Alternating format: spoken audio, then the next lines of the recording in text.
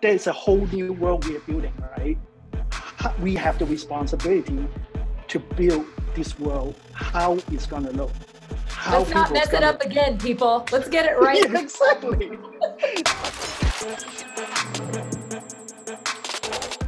Hi everyone, welcome. Uh, my name is Keza MacDonald. I'm video games editor at The Guardian, and I'm here to talk with the D&AD judges about some of the works from this year's um, selection. Um, with me, I have Lovisa Almgren Falken, who is Group Creative Director at EA Games. Hi, Lovisa. Hey. We have Tiffany Rolfe, Global Chief Creative Officer at R slash GA. We've got Joey David Tiempo, founder and chief creative at Octopus and Whale. And then we have Will Scougal, who is director and creative strategy at Snap Inc. Brian Ma, who's executive creative director at TBWA Media Arts Lab in Shanghai. Um, it's been a very interesting selection of work in 2022, um, and I'm interested in hearing what our judges and panelists thought about each one. So I'll start with Lovisa, whose um, selection is called Beyond Generations Gaming Against Loneliness by Howard Dillon, Mary, and Jason. Right, Mary.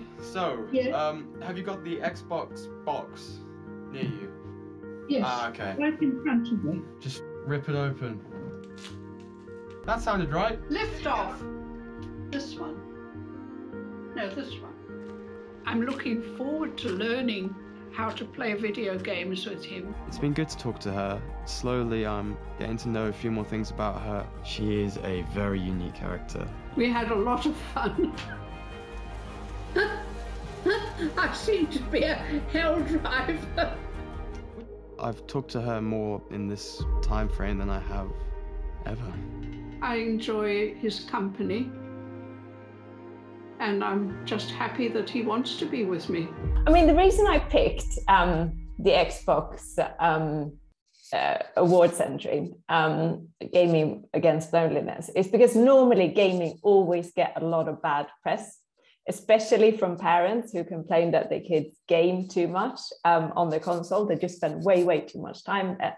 But in this idea, they've actually used that to their advantage. This is so simple. They basically connected gaming kids with the elderly relatives, and they wanted to tackle the problem of loneliness. Um, and the kind of the case study starts with that loneliness is amongst the elderly is on the rise, according to Age UK, with a million older people going over a month speaking to another person. I mean, that in itself is like absolutely horrific. Mm. Um, and the campaign features two documentaries where we follow real life stories of two families who's lost touch. And the relatives get uh, an Xbox set up, and the kids obviously know how to use it. And together they start to game. And in the beginning, the, the conversation is really painful um, to watch. It's sort of stilted, they don't know what to say. But as they keep gaming, the conversation moves on and they kind of open up more and more. Um, and in the end, you kind of have this relationship blooming between the older generation and the new generation. Um, and they kind of, they almost turn into therapy sessions in the end where the kids open up about, you know, worry about are they going to go to uni? Are they not going to go to uni? Are they going to pass the driving test? Um, you know, all those fears and the elderly can sort of put them at ease with these things. And I think that's, that's a really lovely thing because, you know, gaming is so much more um, than just the game itself. It's also about connecting um, people together. Um, and I think that there's so many different varieties of games out there. You got FPS, you got racing, you got co-op, you've got fantasy games that can make you laugh and cry and get your pulse racing. But more importantly, it can really, really bring people closer together. Um, and as part of their initiative, they um, sort of did a, a, a, take on the unboxing theme, and instead they did the reboxing thing. So they had kids give up their old consoles, put beautiful little packaging on it um, with instructions where they printed with really, really sort of big type lettering on how to put it together and how to use it. And it was sent to um, elderly relatives and to nursing homes to kind of get younger people connected with older people to sort of raise this issue about loneliness. And I just thought it was a really lovely way of showing how gaming um, can bridge generations, but also bring people closer together because um, gaming is is just something that's really sociable and fun. It's interesting as well because obviously the social aspects of gaming can seem kind of invisible to the older generation who doesn't necessarily mm. play, right? Like to to a person who doesn't necessarily understand games that well, what it looks like is a person sitting by themselves. Whereas actually, of course, most of the time, especially teenagers when they're playing, they're with other people, right?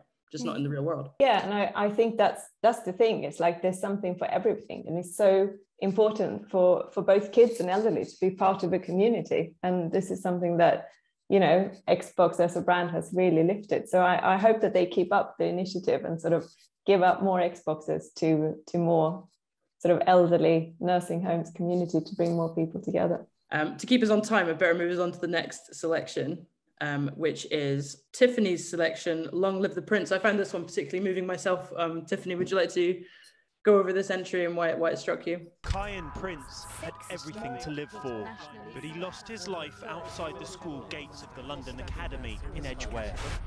15 years after teenager Kiyan Prince was stabbed and killed outside his school in London, his potential is finally being recognised as a professional footballer, the footballer he should have been. What a goal by Kiyan Prince! Goal! Listen, man, EA, this is badass. What we want to do is take people on a journey we can help them change their mindset and lead them to success in the same route that Kiyan was leading his life to success. Yeah, um, this idea is called Long Live Prince. It was about um, a young man who at the time was 15, 2006, I believe, and he was a fast rising soccer star and he was fatally stabbed um, outside of his school while he was, he was trying to prevent um, the bullying of another student and was stabbed by another, um, another young person.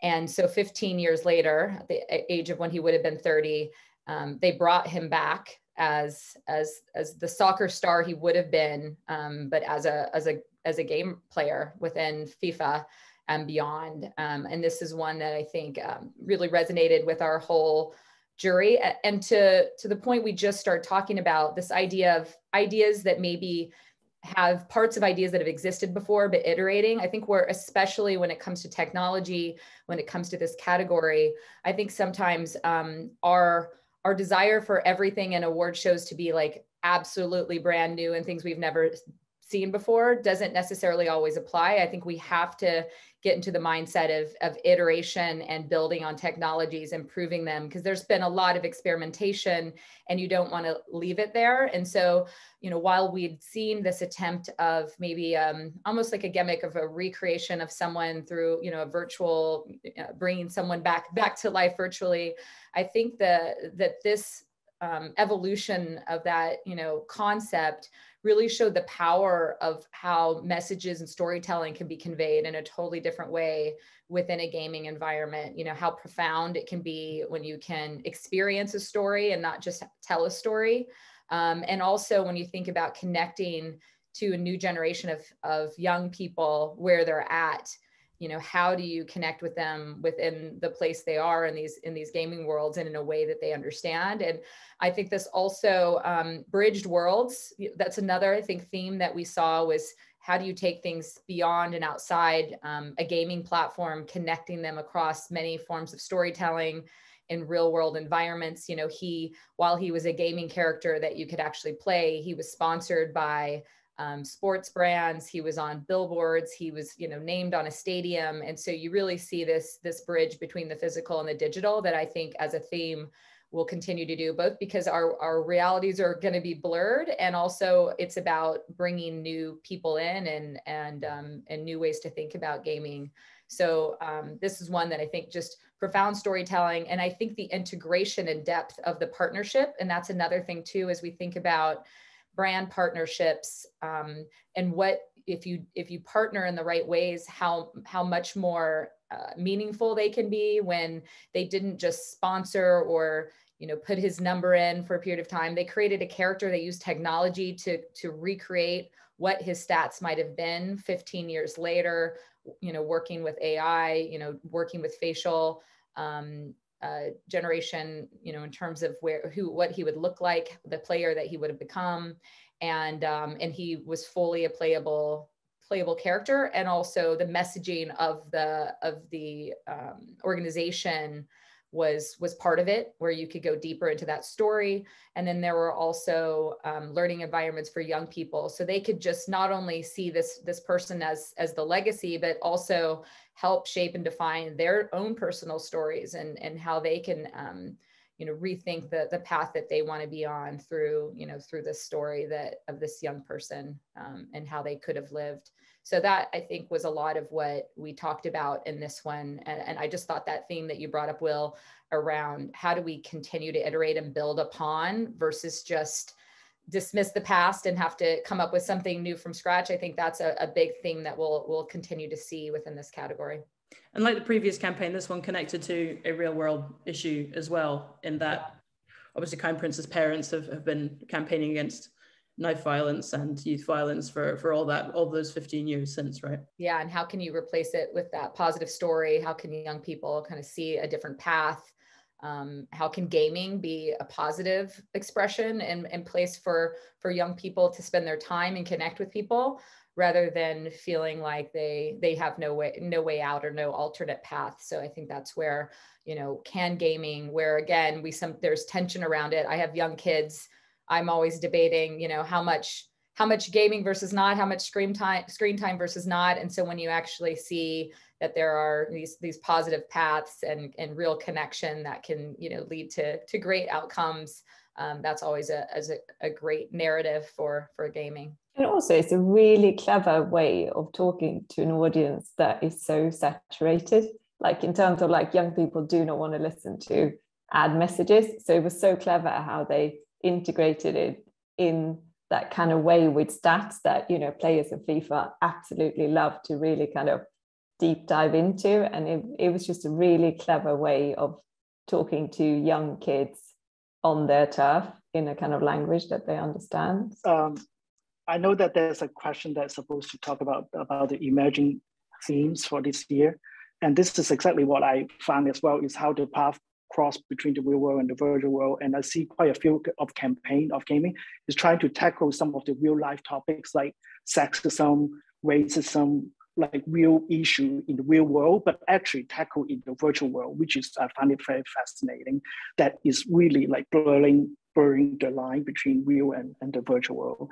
And like, you know, the campaign like pride, the pride race, you know, the gender swap, the cost of bullying, there's, so many of them. I think at the end of the day, like um, what Timothy said earlier, human insight is is still going strong, no matter it's gaming world or or real world, right? I mean, at the end of the day, is what hit hard to people's hearts and and what will stay with us with the message, and those are the ones that wins this year, I think.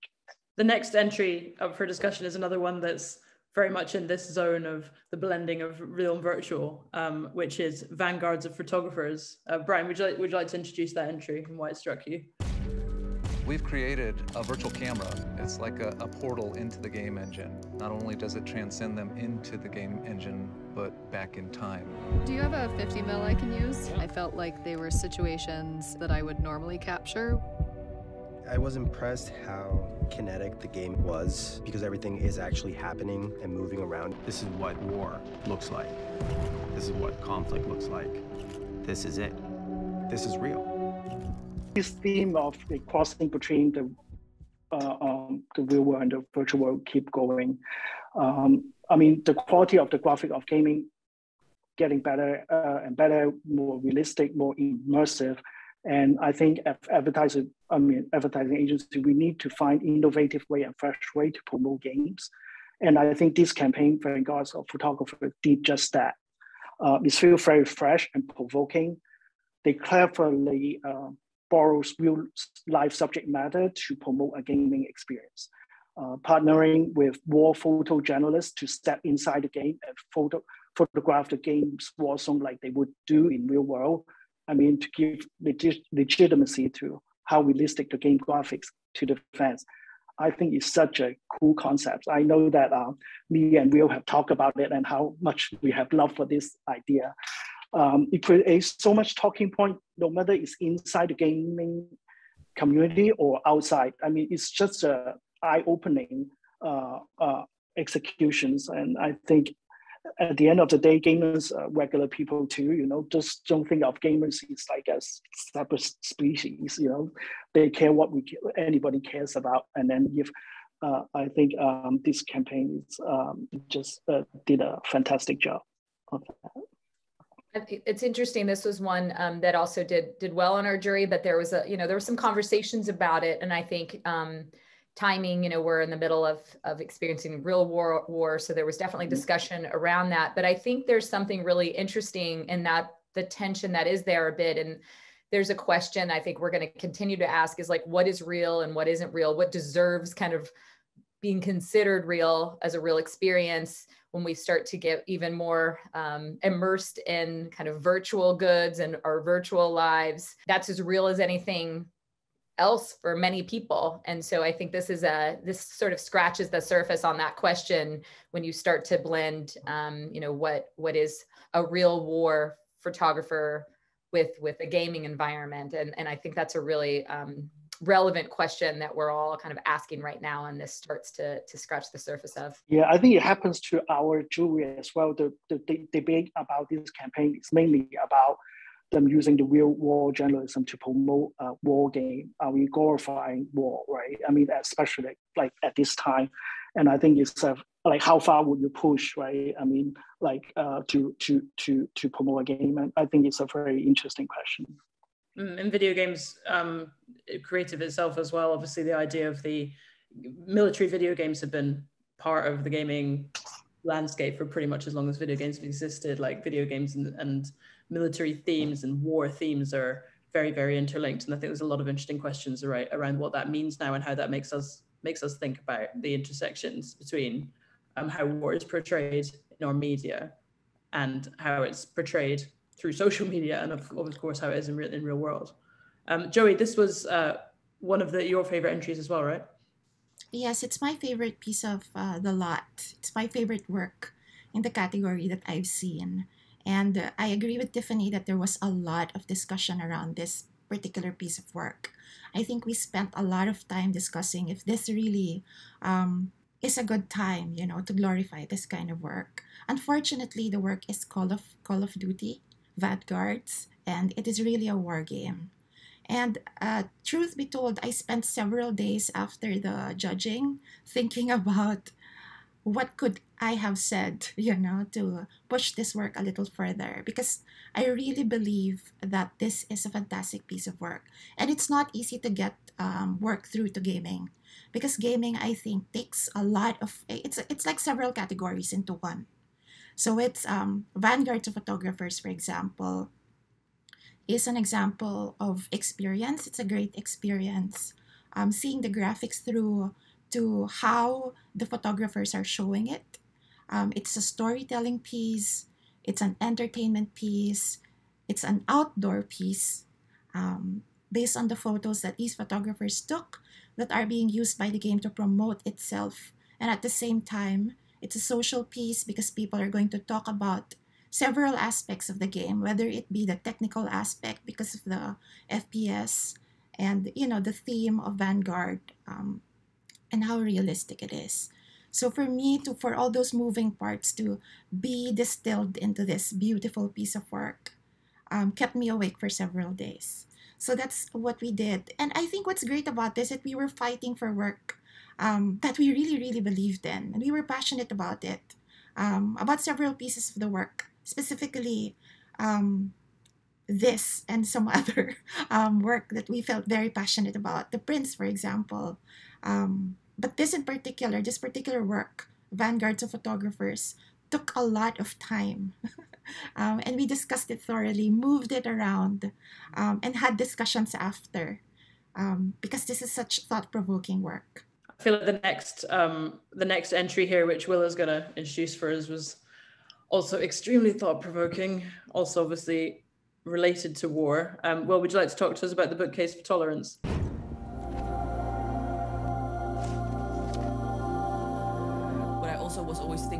Was what what would their rooms look like? This flag has a lot of meaning to me because it's just really my roots they don't realize that behind each one of these people, people there is a story. I think it's important that uh, we all listen to each other. You know their face and their story, then it's very hard to hate them.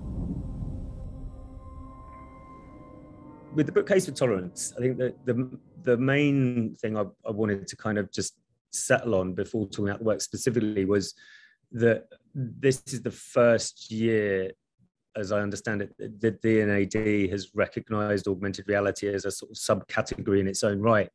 And I think that in itself is a really refreshing example of the direction we're heading in, in relation to one of the points that um, was uh, being made by Tiffany around what's our reality, what's the existing reality, right? Like augmented reality, virtual reality, mixed reality, whatever you want to call it, is a, is a new reality for a lot of us.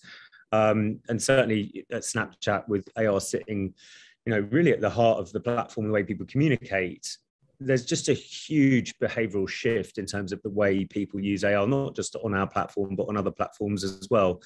And I think that the the idea of being able to recognize and actually extrapolate some of these craft forms and give them recognition for what they are. You know, AR is clearly very different to VR. They're different disciplines, they're different experiences.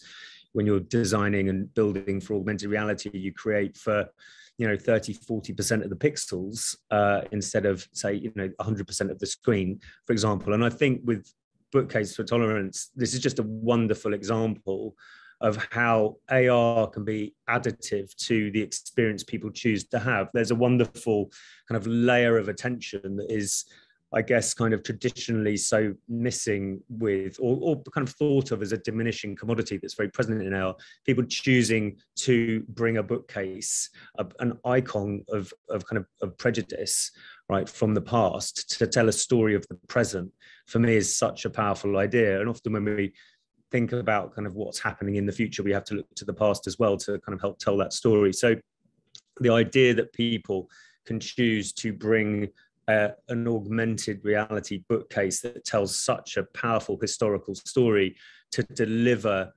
stories of today and be experienced, absorbed, spent time with on the terms of the person experience, a person welcoming the experience into their space is just incredibly powerful. And i think just such a good example of what the opportunity is with um, augmented reality specifically.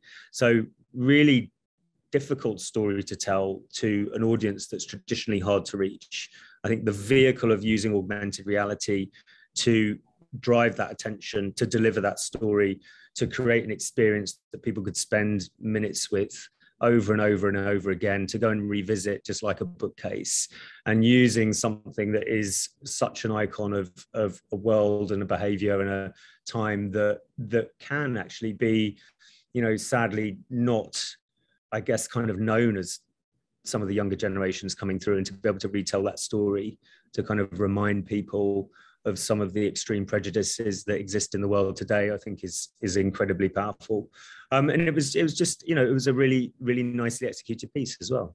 Lucy, you look like you have something to say about. Well, I, I, I, I was going to say that what's what's interesting with a lot of these ideas in terms of what we saw in the gaming category is where what you would say like normal advertising creatives start doing gaming briefs and how they sort of come at it from a really, really different angles. And I think that's where we're starting to see so many interesting new ways because a lot of the other categories like advertising creators have, have like been working those categories for years and gaming is a fairly new category so there's so much left to explore and you can really see how creatives really get off on on like these new categories these new partnerships and how they're starting to interact with um, gaming brands in a whole new way. So I think it's a good example of that. I think it's interesting though, because it is, um, while there's new ways of thinking about it, there's also caution there too. We had an amazing, um, very experienced expert gaming jury um, who play the game, so are in there and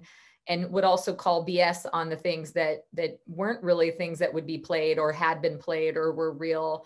Um, and so I think, you know, it, it can't be just used for, hey, one off, great, cool, creative idea on paper. Like, was this actually useful to game? Did gamers engage with this? You know, and I think having that that real depth you have to you have to commit to it authentically and probably more than any other category because it is one where you know you're you're inside of it you're playing it you're spending time with it like you you might not in others um, and there's definitely a, a, bar you have to to hit in understanding the behaviors of those platforms and games for it to really resonate. I, think that's such a such a key point the idea of kind of authenticity of experience. I think in gaming as well, uh, versus advertising, there is a very specific role for the brand to kind of be part of the experience. In advertising, it's often the brand saying, I want more exposure, I want people to talk about the brand. But in gaming, it has to not intrude into the experience. So as we were judging, we were also looking at is the brand um, getting in the way of the game or getting in the way of me having fun? Or is it blatantly just, you know, it has to be a mix of that. Like, is it just a brand on a shirt or on a uniform or on a piece of uh, healing potion? Or is it a brand that's felt, as in the case of the prince, um, where um, you are able to experience the life of someone who has sort of been resurrected to live again and be a hero in his own story. So I think that is what gaming um, pushes for brands and, and, and in the case of advertising, you know, push it in pushes it in new categories that are previously, you know, unexplored, which is why it's super, super exciting. We did have quite a, a really interesting and kind of almost uh, dominating debate early on in our jury about the idea of integrated and what does that really mean today because i think you know uh, prince is actually a, I think a wonderful example of this where the kind of the idea and the core experience and the audience kind of penetration really happened in the game and, and that's where that wonderful story was brought to life. But then you know the idea that the uh, the the image of Prince was also used in out of home out, out of home or you know possibly you know within other areas as well how how many places do you need to exist for a campaign to be integrated? You know can you be integrated uh, if you don't have tv and out of home for example i would argue that you you can absolutely. But i think that certainly as we start to think about kind of what does that actually mean it was a discussion that that really um really interesting discussion that, that kind of took up a big part of the beginning of our jury. I think something that seems to be coming up over and over in this discussion is the the kind of idea of um, video games making the impossible possible, whether that's um, time travel. It's you know putting war photographers into wars from the last century, whether it's you know seeing the world when you can't, when you're in some way physically constrained, when you're seeing people who are far away from you, or or in the case of um, Prince, seeing people who are no longer with us. Um, but then also there's there's this uh, there's this theme of video games being a way to highlight issues that exist in the real world, which is of course the subject of gender swap, the next entry. Um, Joey, would you like to introduce gender swap for us?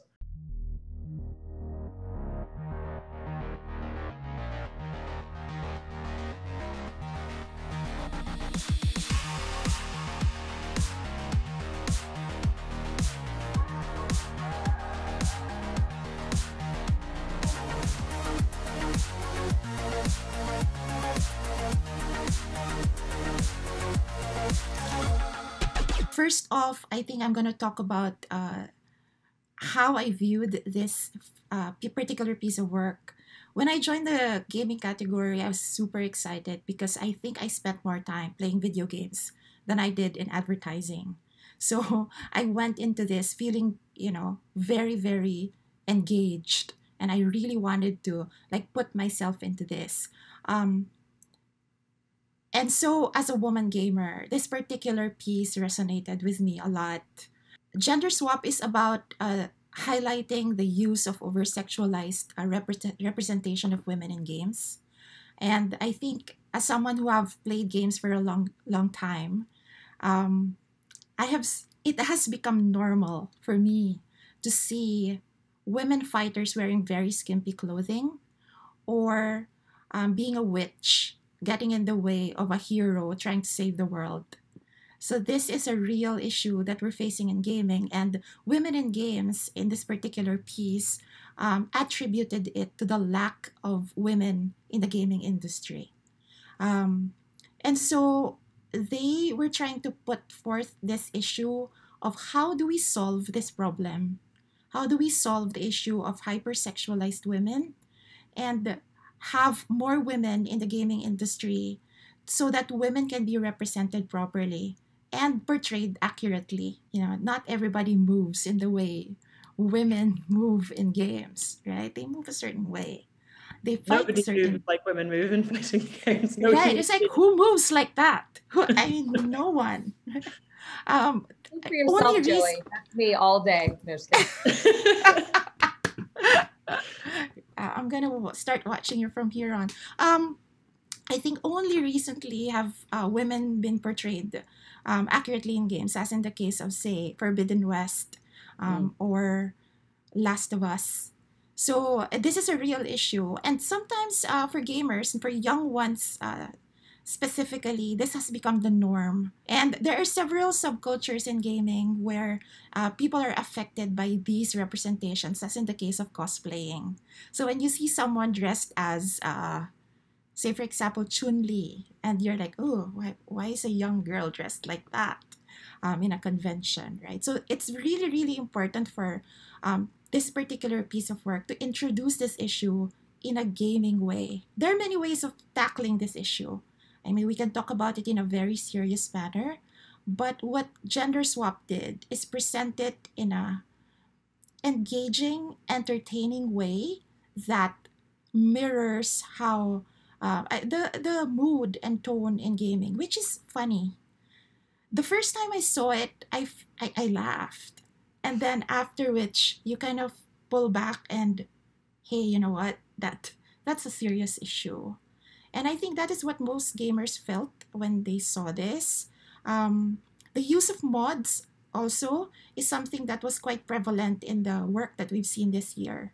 But I think the way these mods were used to push a social issue was something um, that is different um, only because it was quite educational. It was a very fun, entertaining way to educate people about uh, about gender. So um, I think this is one of those um, pieces that we kind of moved around in the jury because it was entered in several.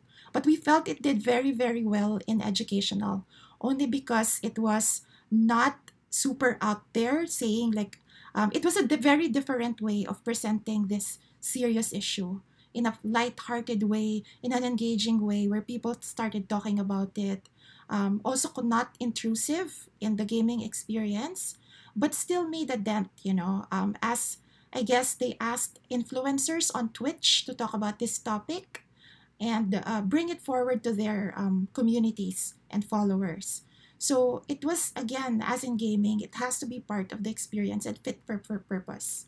So in, in educational, um, in the educational subcategory, um, I think it was able to make a serious point.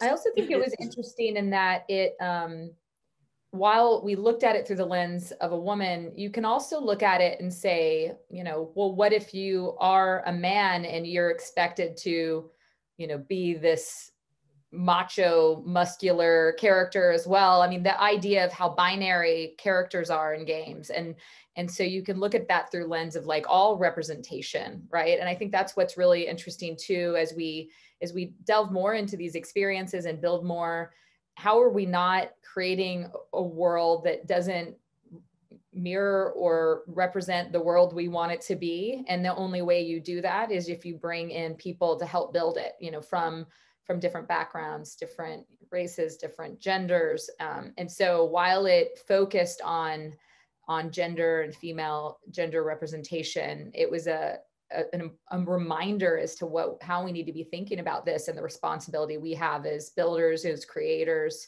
um, as as bringing and hiring and bringing people in to really think about that in in a more you know non-binary way. Yeah i think it's very interesting that like when the virtual world becoming more real the issue that happens in the virtual world becomes more serious and mm-hmm. we have to take it seriously like what you just talked about like no matter is women or like men that who has to look like he-man you know like who, who looks like that, right? I mean, like, I mean, I, I mean, I think that's is such a good point that um, uh, is such a big thing as well. How we how there's a whole new world we are building, right?